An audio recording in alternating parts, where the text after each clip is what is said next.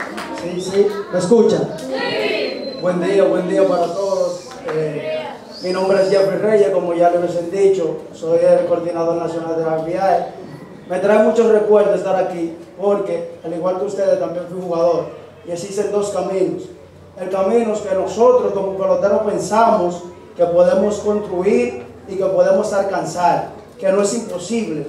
Pero existe el otro camino, la educación. El camino que quizás nosotros como peloteros no lo veamos o no, no queramos inducirnos en ese camino. Pero hoy yo vengo a decirle algo a ustedes. Yo no fui pelotero profesional.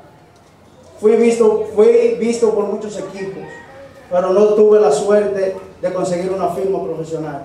Pero gracias, y esto va para los padres, a padres dedicados que se mantuvieron encima de mí para los estudios, que hoy en día le puedo agradecer en donde estoy, que hace un año y cinco meses era vendedor de fruta en una esquina en Barahona, que hace un año y cinco meses no tenía el, el, el deseo de superación que hoy en día tengo forjado, que hace un año, escuchen bien, que hace un año y cinco meses nunca soñé, porque mi sueño fue pelotero profesional, fue pelotero, ser un pelotero de grandes ligas. Hace un año y cinco meses me desempeñaba en un triciclo vendiendo pedazos de piña a 25 pesos en la ciudad de Barahona. Y le quiero traer esto aquí como ejemplo, para que sepan lo importante que es ir a la universidad, lo importante que es educarse, lo importante es que es leer, lo importante que es estudiar inglés, lo importante, porque aquí, y digo esto, y quiero que escuchen bien, es mentira que la juventud dominicana está perdida. Es mentira que todos nosotros no podemos ser profesionales en contra índole.